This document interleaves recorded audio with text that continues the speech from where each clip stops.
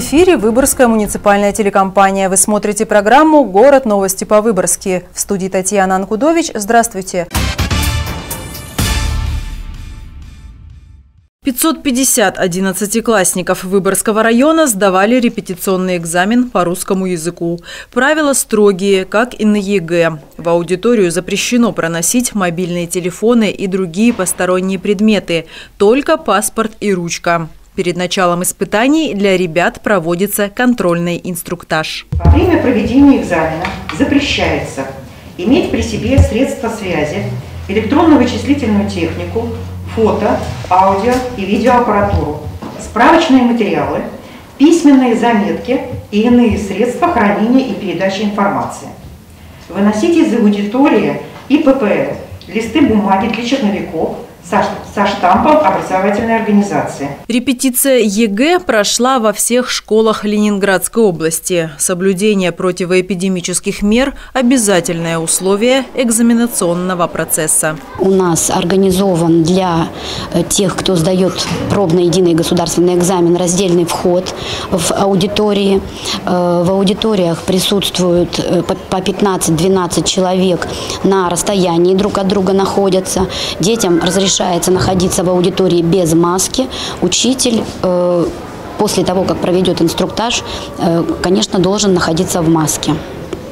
Э, работают рециркуляторы, э, перед входом в аудиторию есть э, санитайзеры. Репетиционный экзамен проводится с целью контроля знаний и определения степени готовности ребят к ЕГЭ. После подведения итогов у преподавателей будет возможность восполнить пробелы в знаниях учеников. Экзамен проводится с соблюдением всех требований процедуры единого государственного экзамена. Основное отличие в том, что выпускники пишут его не на пунктах проведения, проведения, а в своих школах. Процедура экзамена проходит с использованием бланочной технологии. А участникам предложено выполнить КИМ, состоящий из двух блоков. А, первый блок включает в себя задание с кратким ответом, второй блок подразумевает задание с развернутым ответом. Второй, развернутый блок, предлагает написать сочинение по прочитанному тексту. Это задание выполняют только те, кто планирует поступать в ВУЗ. В общей сложности на работу отводится 3 часа 30 минут. Это уже второй пробный экзамен. Э, мы написали математику профильного уровня, попробовали себя уже в этом испытании. Верим, что наши дети покажут хорошие результаты. В 11-й гимназии города Выборга в этом году 40 выпускников. Абсолютно все намерены получить высшее образование. Поэтому задания выполняют в полном объеме. Результаты репетиционного экзамена станут известны в начале марта. Татьяна Анкудович, Александр Сорокин, медиагруппа «Наш город».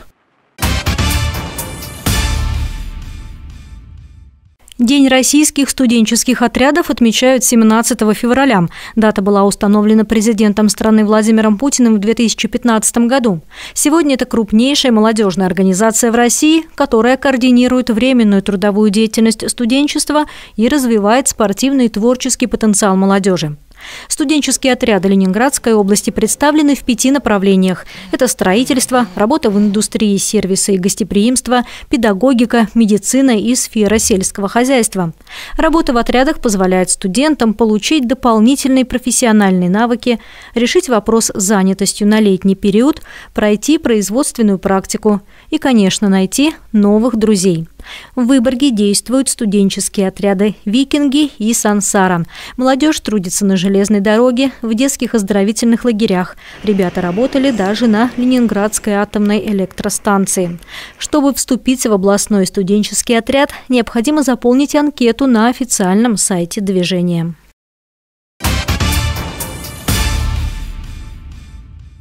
Газ, свет и дороги. В прошлом году более 48% бюджетных расходов в Гончаровском сельском поселении было направлено на жилищно-коммунальное хозяйство и благоустройство.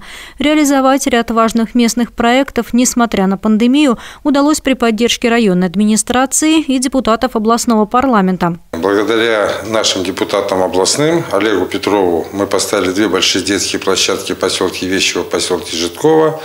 Благодаря нашему областному депутату Владимиру Олеговичу Цою Значит, мы сделали освещение в поселке Гвардейском до клуба.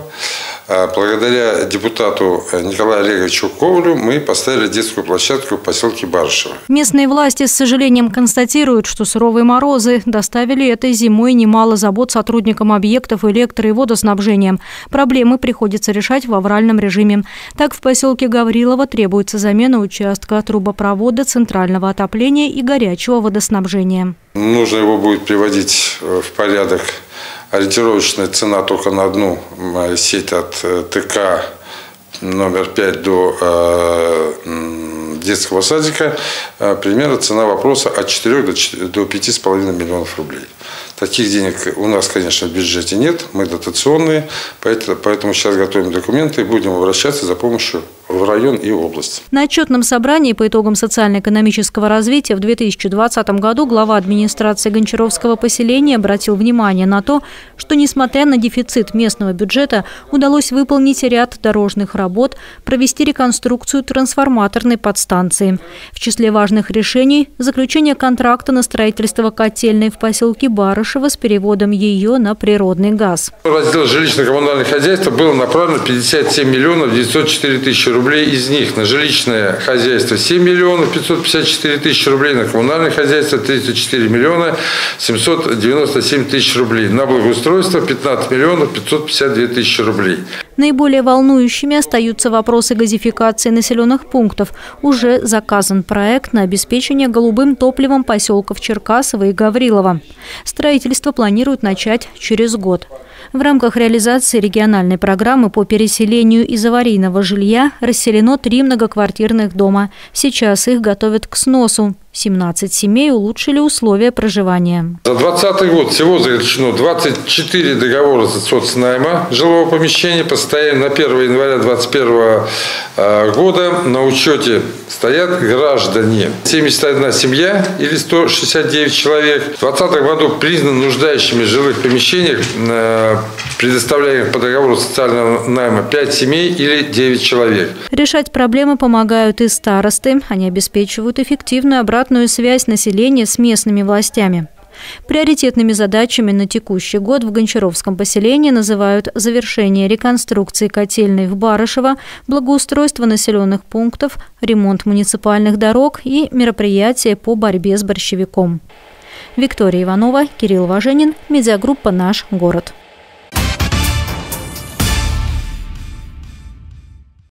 Госинспекция по маломерным судам напоминает, выезд на лед может быть опасен. Об этом говорит и последний трагический случай. На реке Вокси, провалившись в промоину, утонул водитель снегохода вместе со своим транспортным средством.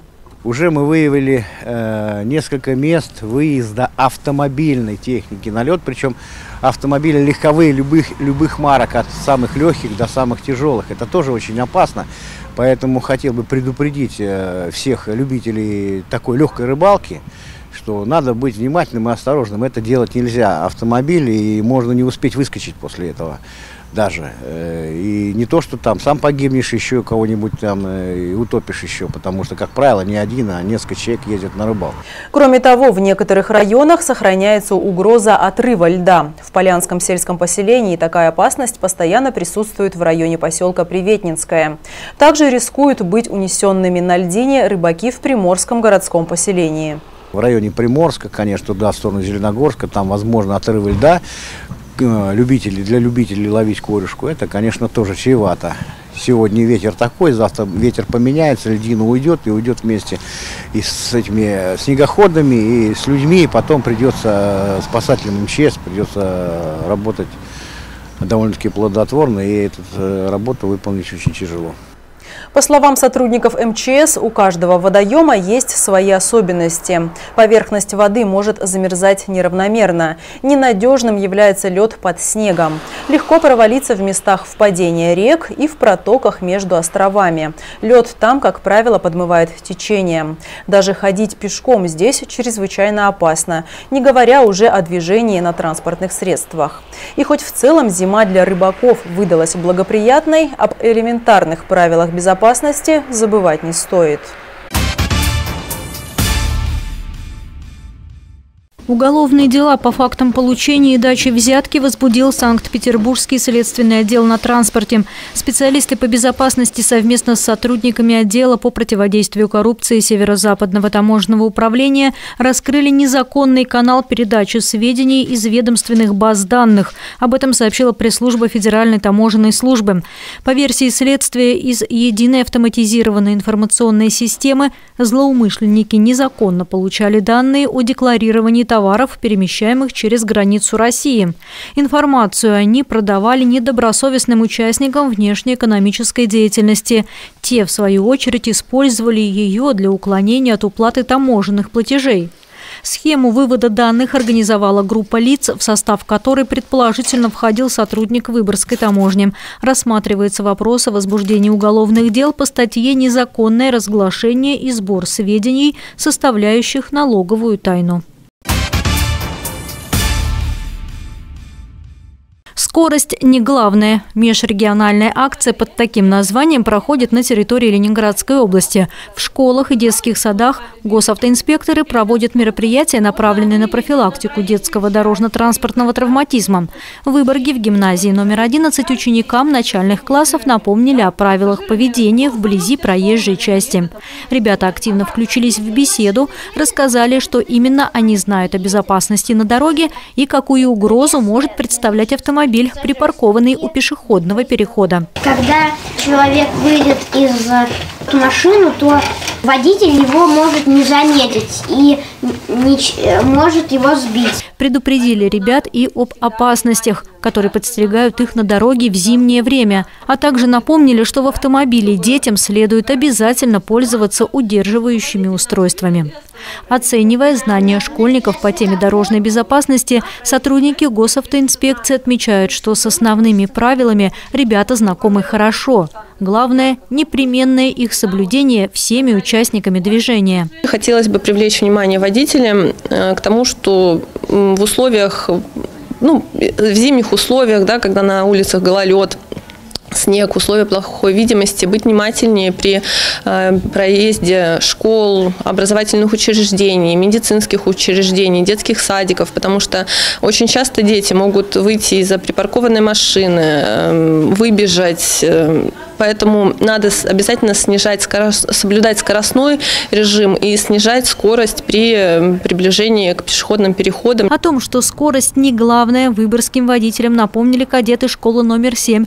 Под контролем инспекторов ГИБДД ребята раздавали водителям открытки, памятки и автомобильные наклейки. Здравствуйте, мы кадеты ГИБДД школы номер 7. Сегодня у нас проходит региональная акция «Скорость не главная». И мы хотим вам еще раз напомнить важность соблюдения правил дорожного движения и скоростного режима. И вот на память вам наклеечку Благодарю, спасибо. Счастливо, спасибо вам Доброго большое. дня, всего хорошего. Не быть безучастными автоинспекторы просят и родителей. Как можно чаще напоминайте своим детям о том, что соблюдение несложных правил может сохранить их здоровье и жизнь.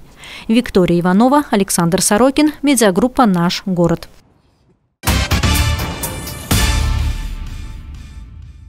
Доступная культурная среда. Более 10 миллионов рублей выделено из бюджета Ленинградской области на лестничные гусеничные подъемники, пандусы, поручни, инвалидные коляски и тактильные таблички. Все это оборудование, предназначенное для удобства людей с ограниченными возможностями, появится в районных домах культуры, досуговых центрах и библиотеках. Всего в этом списке 26 учреждений. Условия для беспрепятственного доступа в помещение инвалидов создадут в том числе в библиотеке Алвара Алта и Школе искусств города Выборга. Губернатор Ленинградской области Александр Дрозденко встретился с министром иностранных дел Финляндской республики Пекой Хависта. Стороны обсудили дальнейшие направления развития сотрудничества. По словам главы региона, сегодня реализуется немало совместных проектов. Для нас Финляндия – это стратегический партнер в экономике. Я приведу буквально три цифры. Финляндия занимает второе место по товарообороту среди всех стран-контрагентов Ленинградской области – а, и а, третье место по экспорту.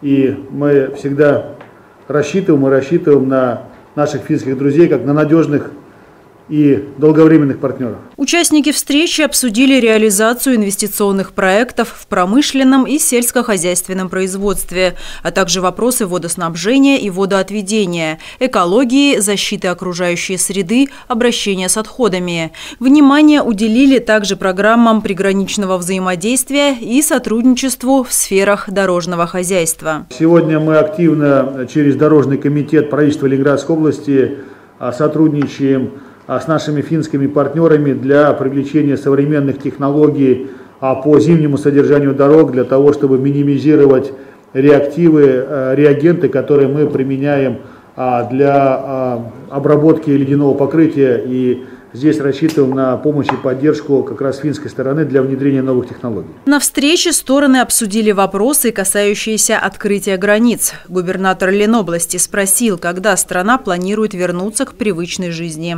Финский министр ответил, что это может произойти уже в ближайшее время. Александр Дрозденко, в свою очередь, выразил надежду, что к лету пандемия отступит и позволит удачно провести чемпионат Европы по футболу. Планируется, что две игры сборной Финляндии пройдут в нашем регионе. Бесплатно обучиться новой профессии предлагают жителям Ленинградской области. Пройти подготовку по одной из IT-специальностей и получить соответствующие корочки можно не выходя из дому. Для этого необходимо зарегистрироваться на платформе «Лидер ID». Программа обучения включает в себя 16 часов онлайн-лекций и 6 часов самостоятельной работы – Первый поток стартует 18 февраля.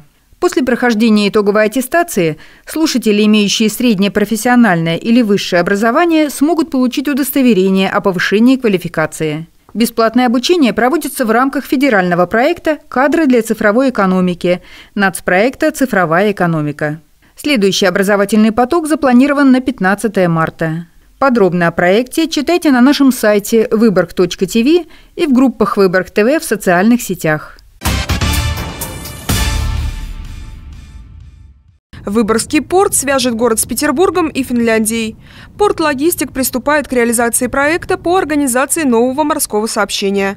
Так туристы получат возможность путешествовать по воде между Санкт-Петербургом, Выборгом и Коткой. Это наш совместный проект э, с финской стороной и с э, пассажирским портом Санкт-Петербург «Морской фасад». Идея возникла достаточно давно, э, и идея заключалась в том, чтобы обеспечить сообщение между Финляндией, Санкт-Петербургом и Выборгом на новых маршрутах.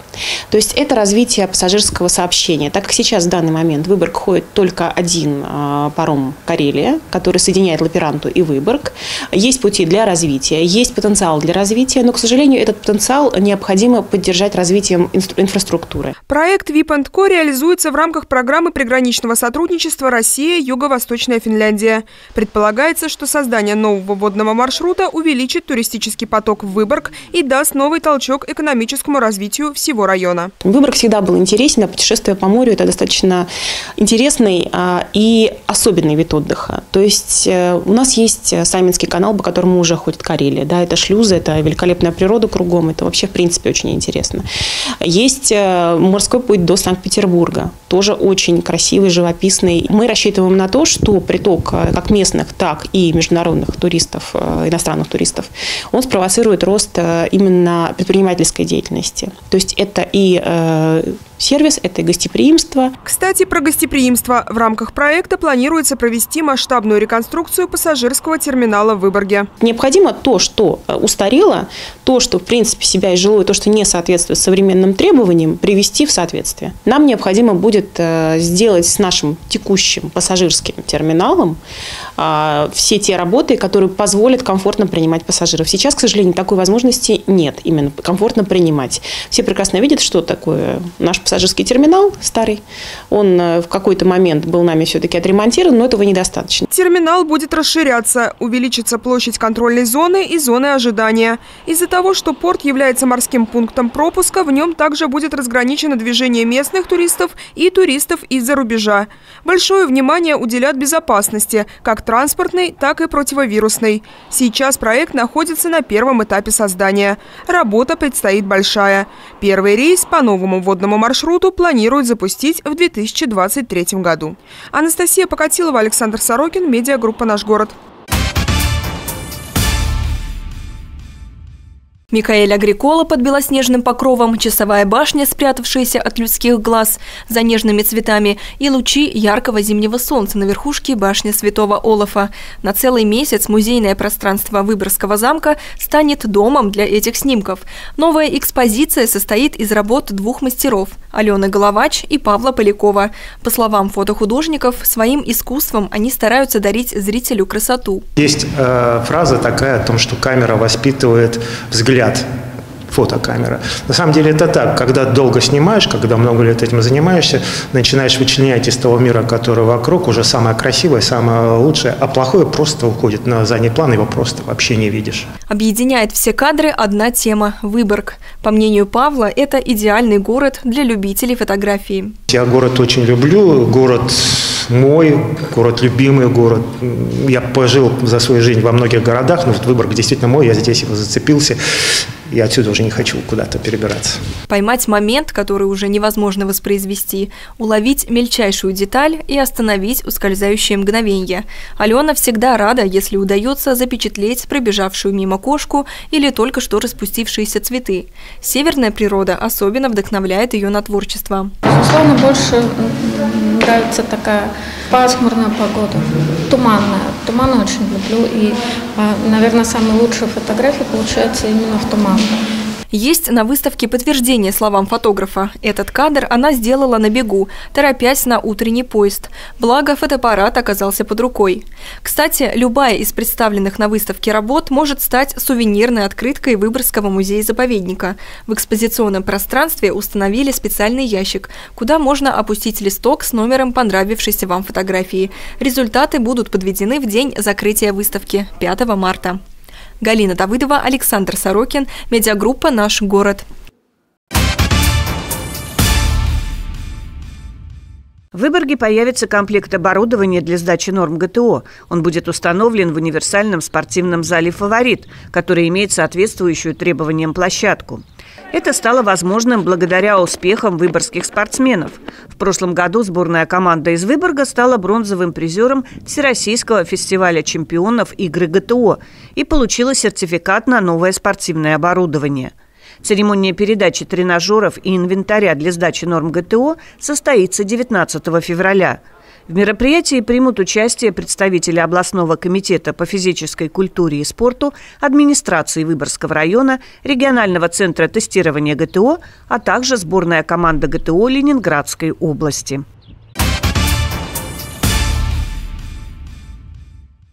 На этом наш выпуск завершен. Увидеть программу «Город новости по-выборгски» вы можете в любое время суток на сайте выборг.тв и в группах Выборг ТВ в социальных сетях. А я с вами прощаюсь. Всего доброго и до новых встреч!